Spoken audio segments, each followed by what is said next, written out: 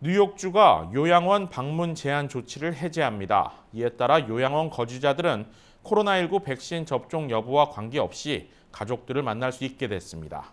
제휴사 뉴욕 KBTV의 보도입니다. 뉴욕주는 지난해 9월 발표된 요양원 방문 관련 코로나19 가이드라인을 업데이트해 앞으로 외부인의 요양원 시설 방문을 허용합니다. 뉴욕주는 최근 이 같은 내용을 서신으로 주내 양로원과 요양시설 등에 발송했습니다. 요양원 거주자들은 앞으로 코로나19 백신 접종 여부와 관계없이 방문객을 만날 수 있습니다. 방문 인원수와 방문 시간에 대한 제한도 해제됐습니다. 주 보건부 자료에 따르면 주내 요양원 거주자의 86%가 코로나19 백신 접종을 완료했습니다. 새로운 지침에 따라 요양원 거주자들은 이제 장기간 시설을 떠날 수도 있게 됐습니다. 하지만 다시 들어올 때는 코로나19 감염 검사를 받아야 합니다. 요양원 방문 제한 조치는 완화됐지만 주 보건부는 공공시설 내 사회적 거리두기는 유지한다는 방침입니다.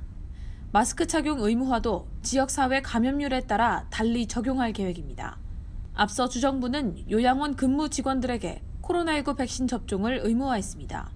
현재 요양원 근로자의 백신 접종률은 74% 수준입니다. 주정부는 요양원 시설 내 감염률은 계속 모니터링해 일반에 공개하겠다고 밝혔습니다. 한편 코로나19 팬데믹 기간 장기 요양시설 거주자들은 상당한 피해를 입은 것으로 나타났습니다. 장기 요양시설 거주자는 미 전체 인구의 약 1%를 차지하지만 사망자 비율은 30%가 넘습니다. 뉴욕 요양원들은 지난해 3월 폐쇄에 들어갔으며 주민들은 올봄 초까지 가족들을 직접 볼 수 없었습니다. KBTV 뉴스 김은지입니다.